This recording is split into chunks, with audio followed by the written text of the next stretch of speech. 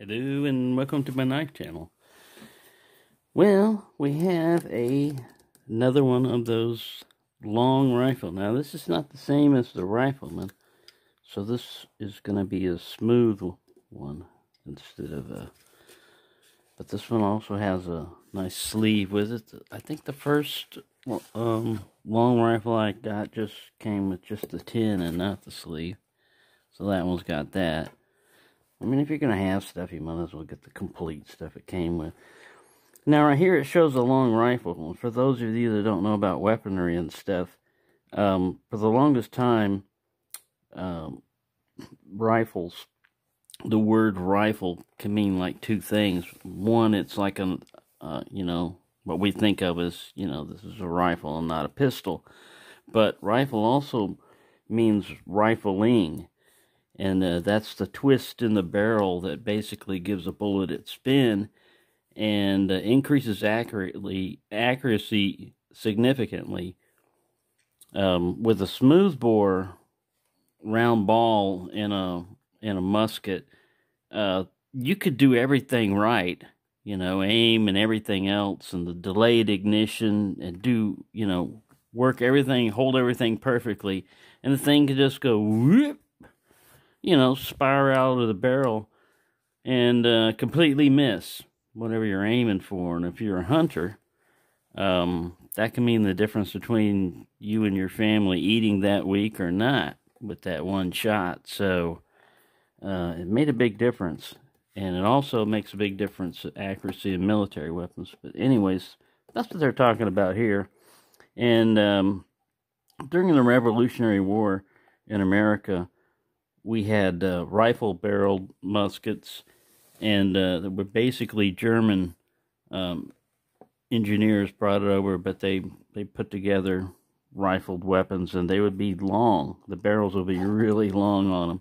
I think I might have a picture somewhere of one. But let's get to this one. This one is a hunter, folding hunter pattern. And it has a nice bone pattern on it right here. Let's see if it if it shows whether it's muskets could be you know like flintlock, but later they improved to percussion. Yeah, this was a flintlock. A, a firing mechanism. So a piece of flint would be on this that they usually carried around, and there'd be a pan.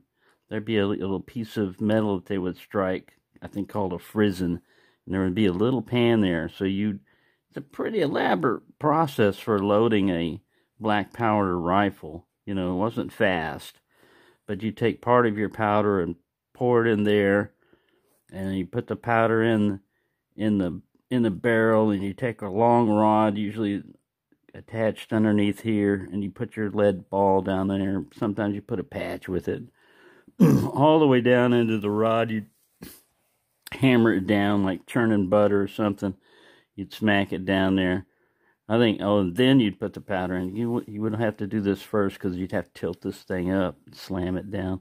Yeah, but then you put you prime your powder there and cock it back. And when you pull the trigger, there's a delay because this thing would strike and you're dealing with black powder, so it's kind of like a little fuse goes, and there's a little hole in the barrel there.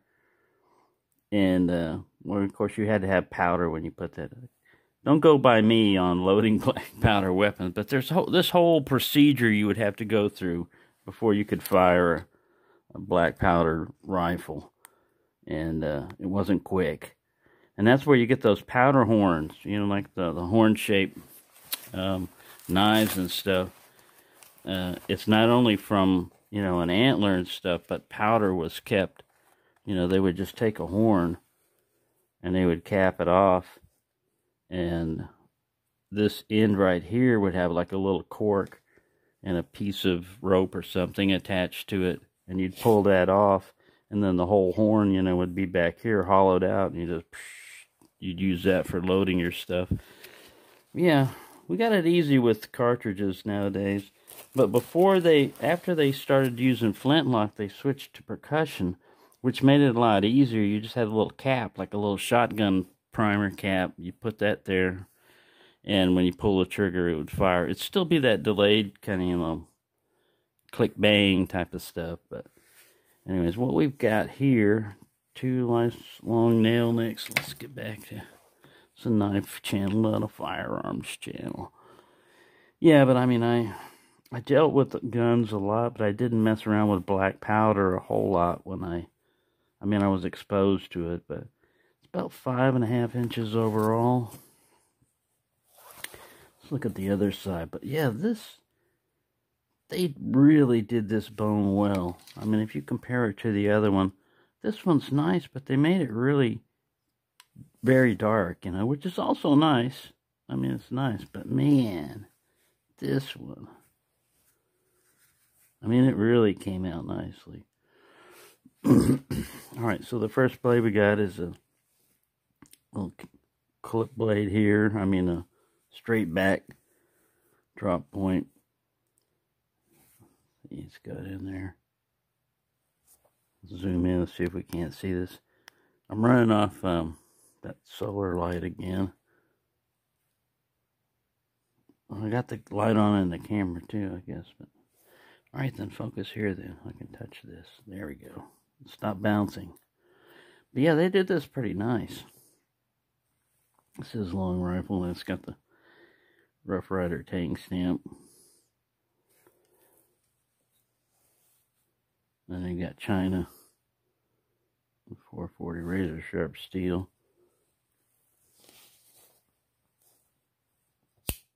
Ting. I'll check for blade rap after this. I haven't really looked at this one. Now here's a nice clip blade. And the Rough Ryder with an eye tang stamp. A horseshoe. And then you can't see it, but there's this guy on a horse running. Ooh, man, it's got pretty strong pull on that one. Let me look this guy. Let me unzoom this. We're in zoomage mode.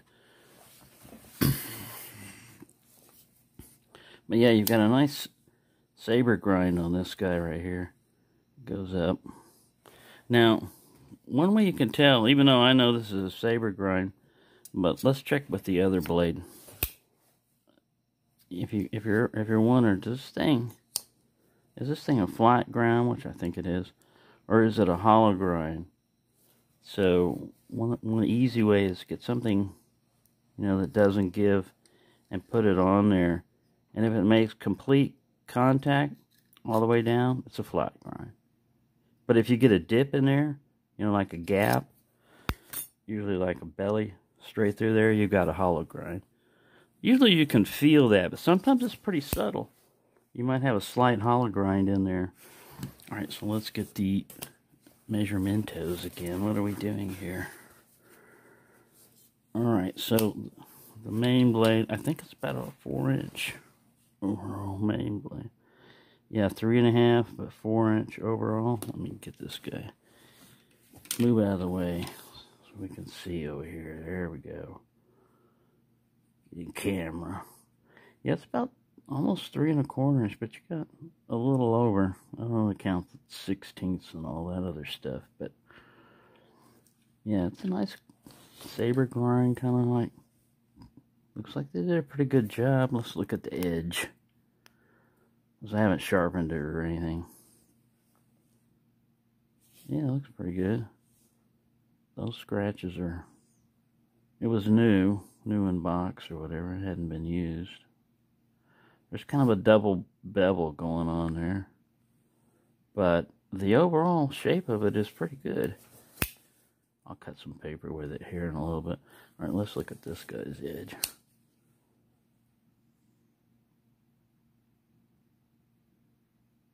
Yeah, it's to need some stropping, but they did a pretty good job. I've seen much worse. Usually they, it's hard for them to get it right up here and down here. Usually on the tip, you got a little bit of a blade rub there from it, this guy hitting the liner. Let's look at that.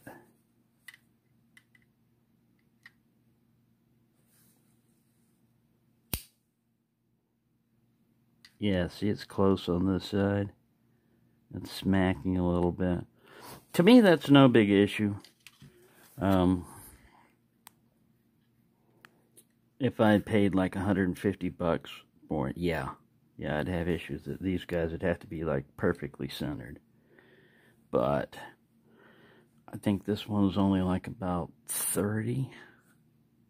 Got some gappage going on there, I believe. Let me zoom in a little bit, take a little closer look. Yeah, a little bit of gap for the spring.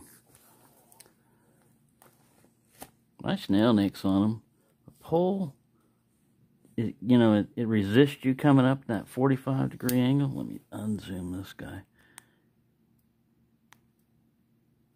The pole kind of resists you right about here. You get the most resistance.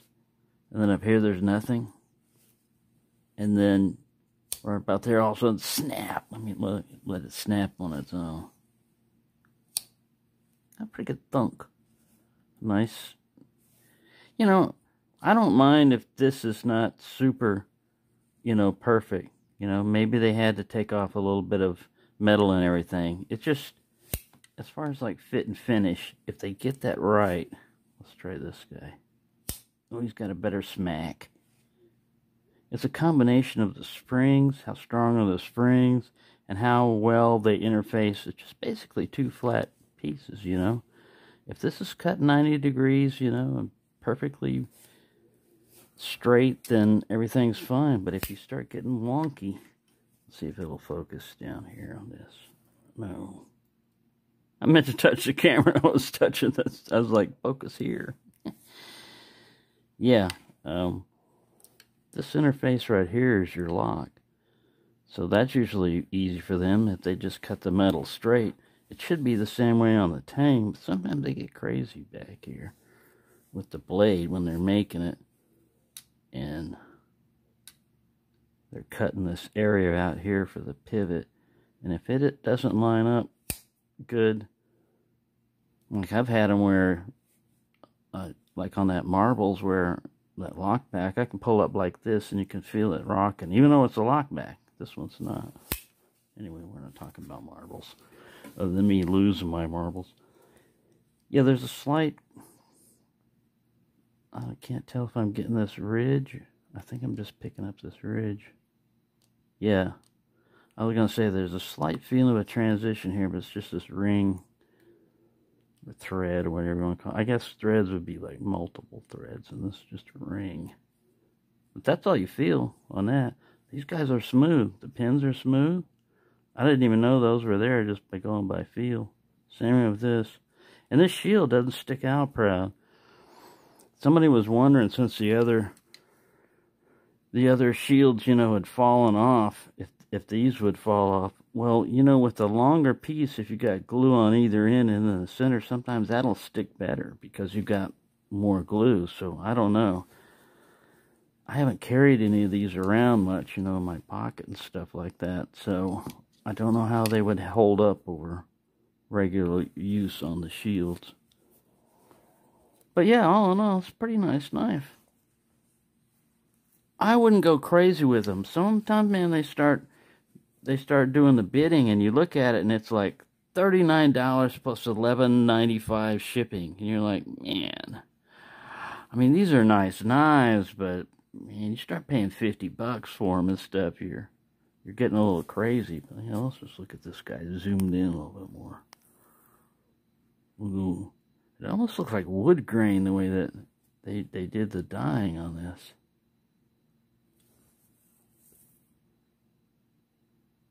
It catches this one pretty, pretty good here.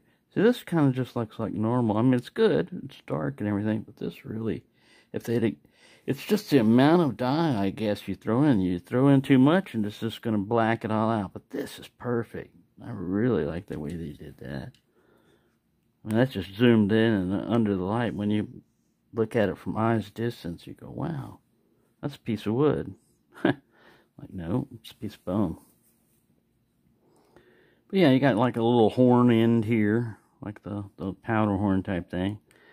And uh, a big head up here and nothing's sticking up. You can easily stick this in your pocket and not have any problem. Um, I don't have a big sheath. anywhere hiding around right now, but I was going to see how it fit with the sheath. Let me check, see if I got that. Always an excuse to whip out the 97. I paid so much for it, it might as well earn its. You know, it's got this nice long clip point. We're not going to mess with it too much, but I mean, yeah. Alright, but we're looking at the sheath. So, the same sheath that that one came out of. Let's see if Fathead will go first. Yeah, it'll actually fit in there. This is the large slip from Rough Ryder. So yeah, and, and this comes in handy with this part right here because if it gets too far in there, you don't have anything to grab onto. So yeah, the large slip, work on that. Put that up. So yeah, that's all we got left is the weight. And then we're out of here. I should have some more according to the postal system. I should have some more knives in tomorrow. Day now. Our life ticking by. It's going to start out in ounces. 6.3. So yeah, you'd feel this puppy. That's almost with uh, buck 110 folding hunter range there. Oh yeah, we need Grammys.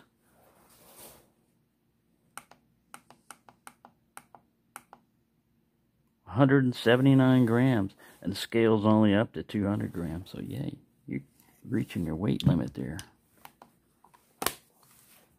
Yeah, you'd feel it. But all in all, it's a pretty nice knife.